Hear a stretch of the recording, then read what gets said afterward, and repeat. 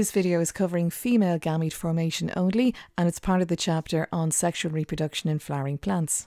The best place to start this topic is to go over the structure of the flower. Know the female reproductive organ is the carpel. It's made up of the stigma, the style, and the ovary, and within the ovary is the ovule.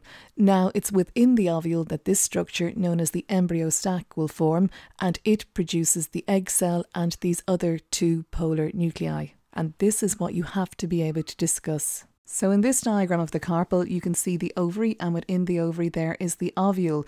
And at the centre of the ovule is this megaspore mother cell and it's diploid, meaning that it has two sets of chromosomes in the nucleus of its cell. It's very important that you know the structure of the ovule really well. Why? Well, later on in seed development, you will have to give an account as to what happens to each of these structures and what they become. Most of the ovule is made up of this mass of diploid cells called the nucellus, and these cells are there for nourishment. They're there to provide nourishment to the developing embryo sac. The walls of the ovule are called the integuments, and it's really important to remember their name.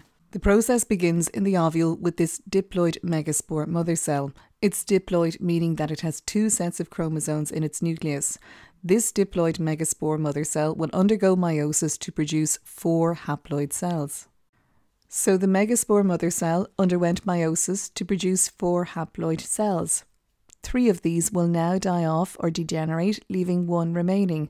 This one remaining haploid cell is now known as the embryo sac, and its nucleus will undergo th- mitosis three times, so three rounds of mitosis, to produce this huge cell, this embryo sac, with eight haploid nuclei.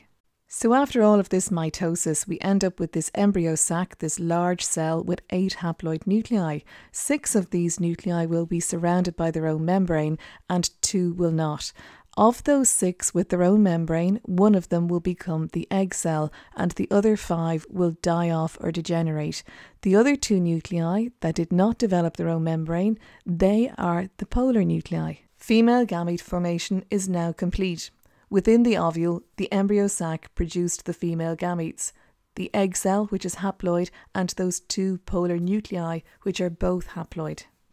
So that's female gamete formation complete. Just make sure you can discuss what's happening in this diagram and link it to a detailed labeled diagram of the ovule with those two polar nuclei and that egg cell.